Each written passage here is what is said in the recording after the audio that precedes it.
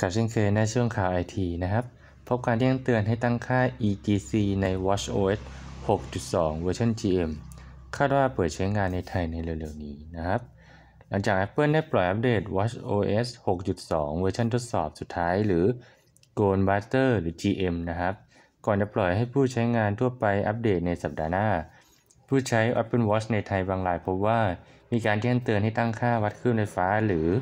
คลื่นไฟฟ้าหัวใจนั่นเองนะครับ หรือในภาษาอังกฤษก็คือ ECG ซึ่งเป็นไปได้ว่า Apple อาจจะเปิดใช้งานในไทยในเร็วๆนี้นั่นเองนะครับ พบการแจ้งเตือนให้ตั้งค่า EGC ใน watchOS 6.2 เวอร์ชัน GM คาดว่าอาจเปิดใช้งานในไทยในเร็วๆนี้ Apple ระบุในคำอธิบายของการปล่อยอัปเดต watchOS 6.2 เวอร์ชันทดสอบสุดท้ายหรือ Golden Master ว่าเปิดใช้งานฟีเจอร์การวัดคลื่นไฟฟ้าหัวใจหรือ ECG และการทดสอบการแจ้งเตือนหัวใจเต้นผิดปกติหรือ Irregular Heart Rhythm ใน 3 ประเทศได้แก่ชิลี นิวซีแลนด์ และตุรกี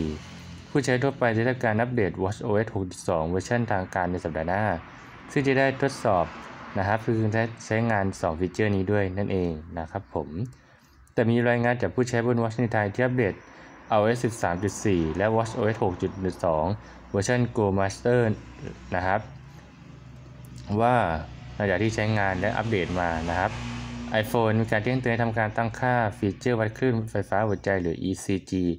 ซึ่งเป็นไปได้ว่าในประเทศไทย อาจได้ใช้งานฟีเจอร์การวัดคลื่นไฟฟ้าหัวใจหรือ ECG ในการแจ้งเตือนหัวใจการเต้นผิดปกติ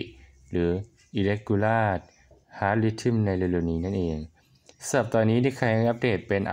iWatch OS 6.2 เวอร์ชัน GM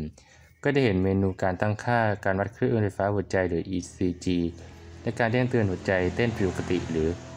irregular heart rhythm ในแอปพลิเคชัน Watch บน iPhone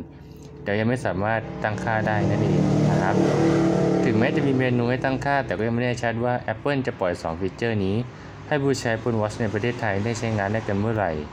ยังไงก็รอติดตามประกาศเป็นทางการจาก Apple อีกครั้งนะครับ แต่สัปดาห์หน้านี้ประเทศชิลี นิวซีแลนด์ และตุรกีก็ได้เริ่มใช้งานกันแล้วนั่นเองนะครับ